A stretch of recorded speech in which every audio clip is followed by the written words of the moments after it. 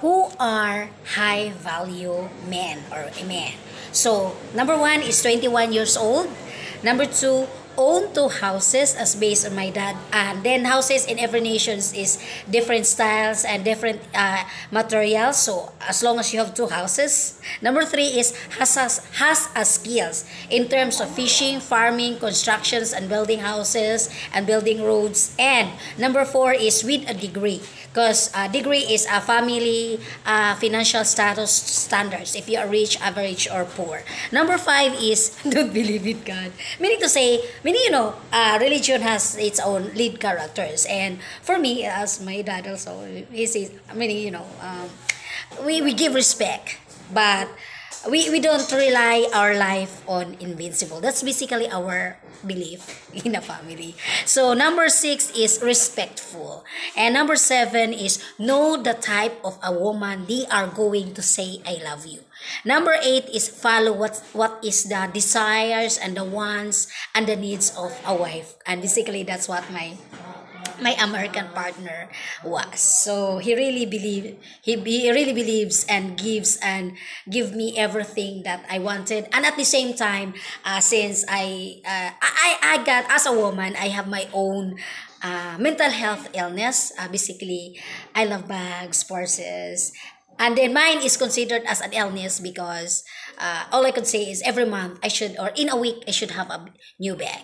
I should have a new shoes. And with or without my American partner, uh, I'm really I, I really have that uh, behavior already.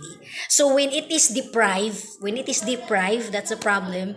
The de- the deprivations of whatever the wa- woman's and the wants of the woman or the wives in the family is, uh, that that's that's caused uh, argument. So if you're a high value man, you know how to provide, you know how to understand, and of course yourselves. Uh, you, as a man, based on my research and my study, my partner also, you have all the men have their own satisfactions because and that's why uh, smoking, drinking, gambling, that's men desire that's men happiness. The uh, sex with with other uh, women. Uh, although sex means with other woman is considered as a mental health as well. So sex addictions it can be called as sex addic- addiction. So if I, if a woman uh, materialistic meaning like they like bags shoes things jewelries men is they are more on sex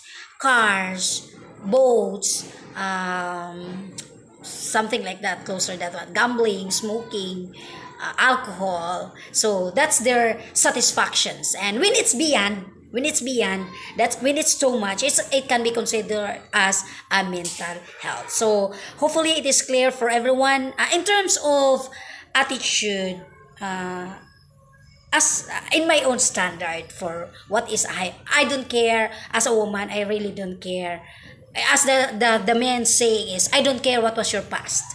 Basically, generally. So, the past there is for the woman that I don't care what is what was your past as a man.